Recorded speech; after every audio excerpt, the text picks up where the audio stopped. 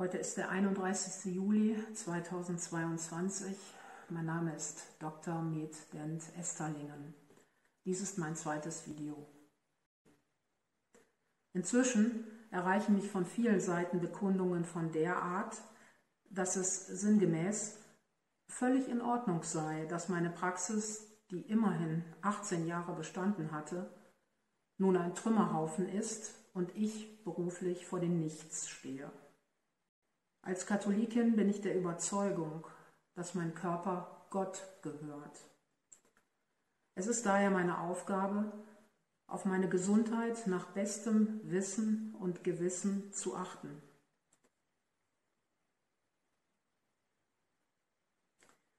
Die erste Frage im katholischen Katechismus lautet, wozu sind wir da auf Erden?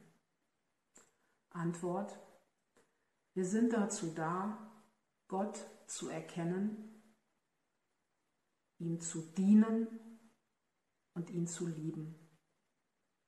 Dafür sind wir auf Erden und nur dafür. Die Anhänger des Hedonismus oder des Kommunismus können mit dieser Einstellung selbstverständlich nichts anfangen. Doch dabei belassen sie es nicht. Sie verabscheuen und bekämpfen jeden, der nach dem Grundsatz lebt, man müsse Gott mehr gehorchen als dem Menschen. Menschheitsfamilie. Man ist nicht bereit, sich der Wahrheit wirklich zu stellen. Ein Trauerspiel. Hier liegt der fatale Irrtum. Wer sein Leben retten will, wird es verlieren.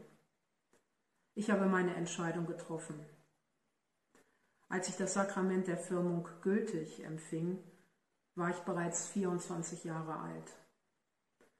Bei diesem Anlass erneuerte ich mein Taufgelübde und ich gab das Versprechen, alles meinem Gott zu ehren.